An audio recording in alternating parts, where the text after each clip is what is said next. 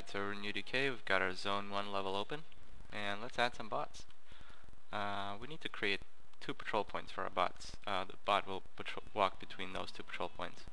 So just right click, add actor, anywhere on the map, add actor, and add path node.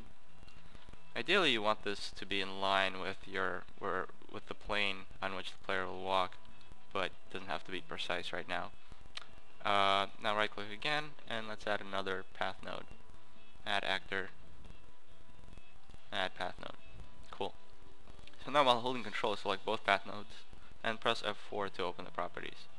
Under movement uh, location uh, change the value of the Y property to 500. This way it's guaranteed to be in line with the player because our, pl our player is going to be at Y equals 500. And uh, if you click the little cascading window icon, and break this up into four viewports, um, you could verify that it is indeed on the same plane. Okay, cool. So with the two uh, path nodes still selected, uh, let's hop into Kismet. Great, so now just right click anywhere on the canvas and select new object variables using path nodes. Uh, this creates links to the, this creates variables for the path nodes in Kismet. Um, what we want to do first is spawn the bot. As soon as the level loads, we want to spawn our bot. So to do that, we're going to use an actor factory. So right click, select new action actor, actor factory. And let's immediately connect level loaded to spawn actor.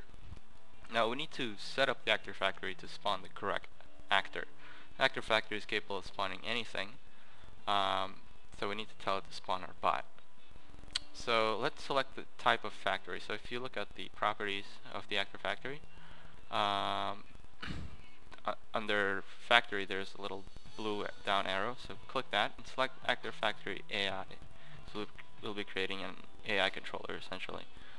Um, and let's change the controller class to TomatoBot. So if you follow the guide so far and compile the script successfully uh, from the previous um, from the previous section, you should have this option available. And uh, for pawn class, let's select tomato pawn. The reason we want to use tomato pawn is because um, tomato pawn is restricted to a single plane, so the bot won't get out of plane and will become impossible to shoot. Okay, cool. Uh, now we need to give the bot a spawn point. We will use one of our path nodes. So connect the spawn point connector to the path node and the spawned connector is essentially the output. So this is the object that will be created. Uh, in our case, this will be a tomato bot.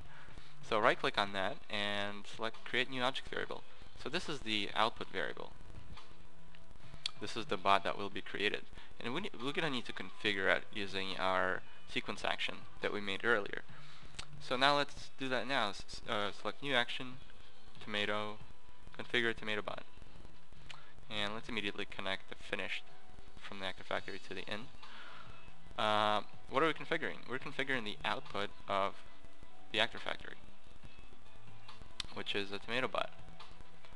Uh, firing target will be the player, if you remember. Uh, so let's connect that to the player. We can create a new player variable, but it, I'm just going to link the whole thing down here. It looks a little bit messy, but uh, save some time. Uh, maximum firing range. I'm not really sure what to put here at this point. Um, so let's just try just 750 maybe. Yeah, that should work. Uh, and uh, the two patrol points. So the first patrol point, patrol start, will be the spawn point. Uh, and the patrol end will be the other spawn point. The other path node. Excuse me. Uh, it looks like it's all set. Okay. Yeah looks like it's all set. Uh, might be wrong, but let's test it out. Uh, so let's close out of Kismet and let's run our level. Great. Here I come, here I come, here I come. Oh no. Oh, you know what I forgot to do? Forgot to give him a gun. let's go back into Kismet. Uh, click on Actor Factory and inventory list. Expand that. Um, and let's give him a rocket launcher. Uh, that's this is not gonna end well because I don't have a gun either. But let's see what happens. Here I come. Here I come. Uh oh. Yeah, that works. Is he still chasing me? Oh. Alright. I guess that worked out well. Um, now let's check our uh, log to see what the bot is doing, see if we, we can see our script log. Yep, I see the player going to charging no strafe state, begin moving, move defending. Excellent. It looks like it's all working. Um, you, you'll want to rebuild your paths. So you, you'll want to go into build, build all uh, before you, you finalize this. Uh, great.